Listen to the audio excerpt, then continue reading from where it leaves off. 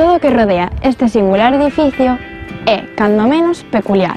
Xa o topónimo Lubre achéganos a antigüidade, os tempos dos nosos ancestros, a época dos celtas, dos druidas, dos cultos pagáns... Pois non en van, os cultos celtas soían realizarse nos lubres, que viñan sendo zonas boscosas as que se lle instalaban as árboles formando un círculo central no cal se realizaban cultos nocturnos con grandes fogueiras, fachos e bailes rituais.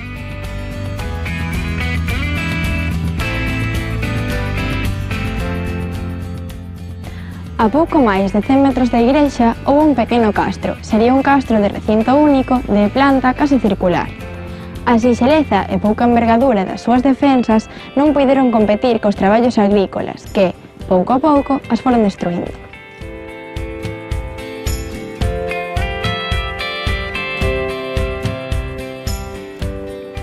A actual igrexa de Santa Eulalia de Lubre, levantada finais do século XV e comezos do XVI sobre os restos dunha antiga igrexa é un dos exemplares máis curiosos da arquitectura cristiá da nosa península. Esta é dunha notable antigüidade. Aparece na relación de igrexas que Afonso II mandou construir a Oba de Tructinio no ano 830 e tamén se cita na historia compostelá do século XII. Antigamente foi unha igrexa de refuxo, daquelas que gozaban do privilexio chamado vulgarmente acollerse o sagrado, nas que acollían os delincuentes. Para algún, foi a antigua parroquial de Ares, cousa pouco probable, xa que a xente de mar tiña as súas igrexas preto do mar. As noticias históricas remóndase ao século XII.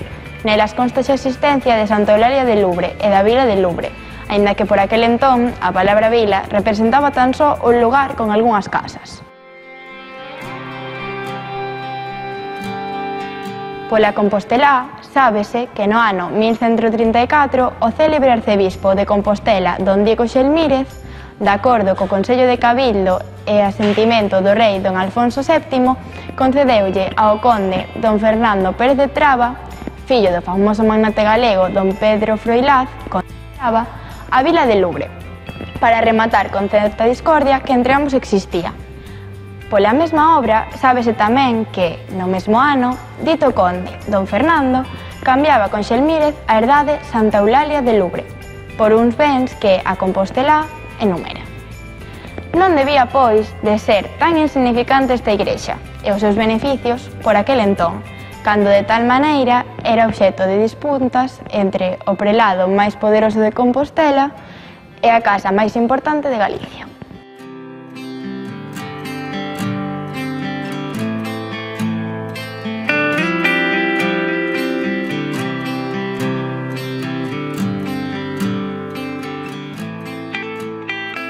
Unha peculiaridade que a fai prácticamente única na zona é que ten un cuberto cara poñente, que, ao tempo, te proporciona protección á sobria pero fermosa portada, e serve tamén para resguardar da choiva a xente que accede ao templo.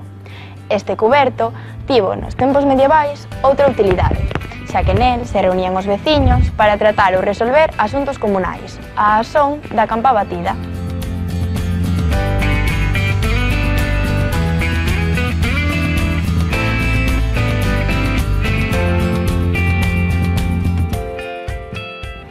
perfectamente orientada co testeiro cara oriente, presenta unha forma alongada con planta de nave única e unha soa ábsida. A súa fachada é románica.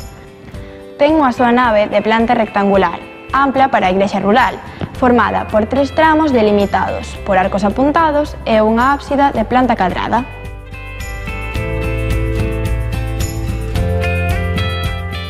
Ten tamén unha torre campanario cadrada, situada nun dos seus lados. A súa fachada mira o poñente, segundo a clásica disposición, e, tal ver, por conservar a orientación da igrexa anterior, en cuxo lugar, seguramente, se edificou a que hoxe existe. A nave divídese en tres partes e os seus muros están fendidos por estreitas ventás e seteiros, que iluminan débilmente o interior deste exemplar. A nave está cuberta con madeira pero a ábsida ten unha bóveda estrelada de cinco claves, cuxos nervios principais se apoian en columnas fincadas nos ángulos, de fustes esbeltos, pero de capitéis de mala calidade, esculpidos con lixeiros relevos.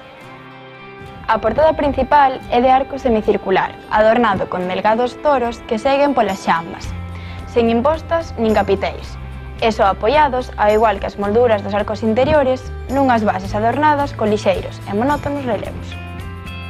Sobre esta portada, ábrese un ósculo con molduras que, sen dúbida, tivo algunha tracería, pero que hoxe está cristalado e proporcionalle luz natural ao templo no único sitio no que posúe unha segunda altura, que non é outro máis que o coro situado aos pés da nave.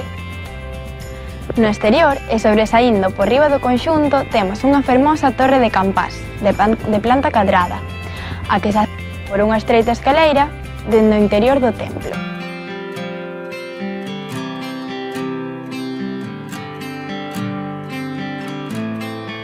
O interior é sobrio, espazoso, acolledor e presenta unha distinción clara entre a nave dedicada aos fiéis que ten unhas medias interiores de 16,30 por 8,50 e tres tramos. E o presbiterio, ao que se entra logo de cruzar un arco con un apuntamento característico, pois non é o clásico arco oxivial, senón que é un peculiar.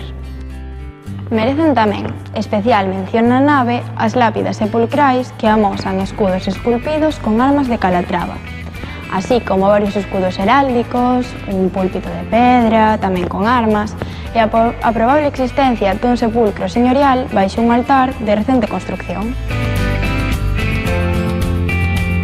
O retablo, de singular beleza, necesita restauración. Nel destaca, no lugar preferente, a patroa Santa Olalla, ataviada con palma, símbolo do martirio. Esta beleza, sen dúbida, vai en consonancia co seu emprazamento baixo a bóveda de crucería de cinco claves de tamaño considerable, como son tamén os nervios da bóveda. A igrexa de Santolalla de Lubre simplemente un dos poucos exemplares que nos quedan de igrexas rurais dos séculos XV e XVI en Galicia.